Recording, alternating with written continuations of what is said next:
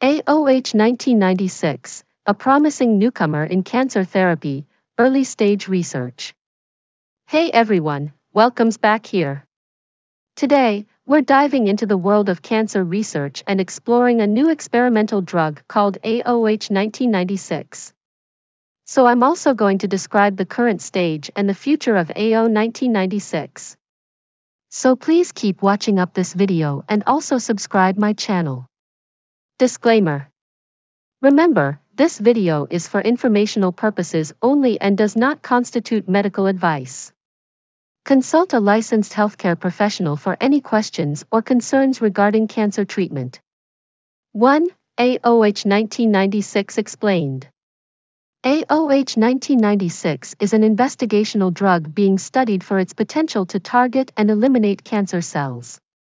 It acts as a small molecule inhibitor of an essential protein called proliferating cell nuclear antigen, PCNA. PCNA plays a crucial role in DNA replication, and cancer cells are particularly reliant on it for rapid growth. 2. Current stage of research. AOH 1996 is currently undergoing Phase 1 clinical trials, which involve testing for safety and dosage in a small group of patients. Early results suggest promise, with the drug demonstrating tumor suppression potential in preclinical studies and acceptable tolerability in initial human trials. 3. Important points to consider. AOH 1996 is still in the early stages of development. More extensive clinical trials are needed to confirm its efficacy and safety for widespread use. AOH 1996 is not currently available as a treatment option for any type of cancer. While AOH 1996 shows promise as a potential new tool in the fight against cancer, it's crucial to manage expectations.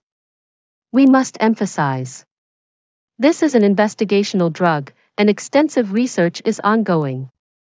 AOH 1996 should not be considered a cure or a substitute for conventional cancer treatments. Consulting a qualified oncologist or healthcare professional is essential for discussing personalized treatment options. 4. The future of AOH 1996. Researchers are actively investigating the potential of AOH 1996 in combination with other therapies. Further studies are crucial to determine its effectiveness in treating different types of cancer. AOH 1996 represents an exciting development in cancer research.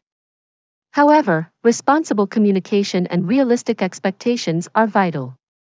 Always consult your doctor for diagnosis, treatment advice, and the latest information on cancer therapies. Don't forget to like, subscribe, and hit the notification bell for more informative health content.